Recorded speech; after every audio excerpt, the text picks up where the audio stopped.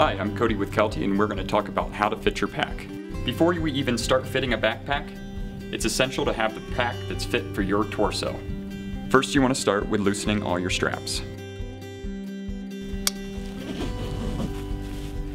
You ideally want the hip belt to rest on the top of your hip bone, called your iliac crest, with one inch room on each side.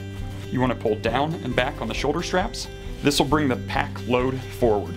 If you want to pull down on the load lifter straps, this will ease some pressure off the top of your shoulders.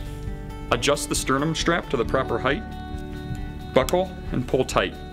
Follow these steps next time you get into the backcountry to have a more enjoyable experience.